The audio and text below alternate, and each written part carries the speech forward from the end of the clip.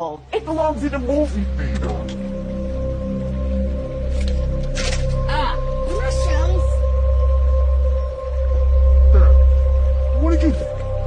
I think you're nuts. Destiny is calling. Destiny Del you from high school?